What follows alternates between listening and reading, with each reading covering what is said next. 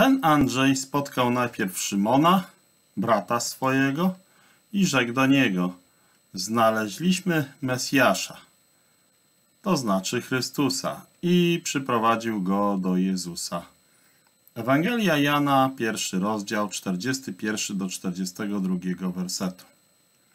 Mamy w tym fragmencie przedstawione, w jaki sposób Andrzej przyprowadza swojego brata do Pana Jezusa Chrystusa.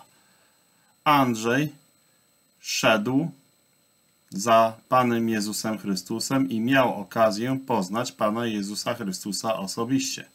Spotkanie to sprawiło, że Andrzej był przepełniony i zafascynowany osobą Pana Jezusa Chrystusa.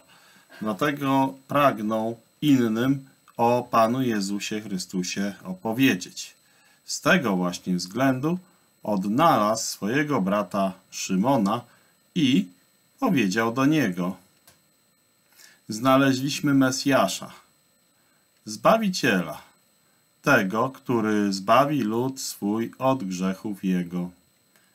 Tak czytamy w Ewangelii Mateusza, pierwszy rozdział, 21 werset.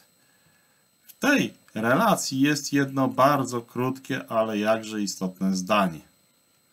I przyprowadził go do Jezusa.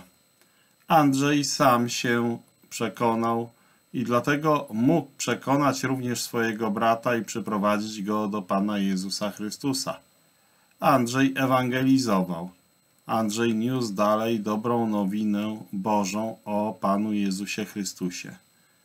Andrzej nie kalkulował i nie zadawał sobie pytań typu cóż to da jednej, jedynej osobie.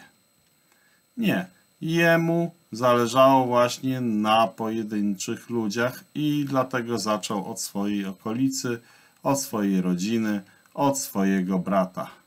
Andrzej powierzył swoje życie Panu Jezusowi Chrystusowi, a następnie przyprowadził do Pana Jezusa Chrystusa również swojego brata, ponieważ pragnął, aby i jego brat doświadczył tego, czego on sam mógł doświadczyć.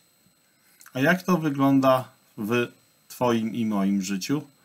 Być może przez właśnie takiego Andrzeja otrzymałeś osobiście ten kalendarz, albo Biblię, albo książkę, albo link do kanału. Być może wiesz, że taki w cudzysłowie Andrzej osobiście modli się za Tobą i za Twoją życiową sytuacją, abyś i Ty odnalazł drogę do Pana Jezusa Chrystusa. Albo może sam jesteś takim w cudzysłowie Andrzejem, który innym opowiada o Panu Jezusie Chrystusie, ponieważ pragniesz, aby i inni Pana Jezusa Chrystusa poznali. Tak, Andrzej jest dla każdego z nas wzorem. Aż do dnia dzisiejszego osobiste kontakty są doskonałą okazją, aby nieść dalej Ewangelię Bożą.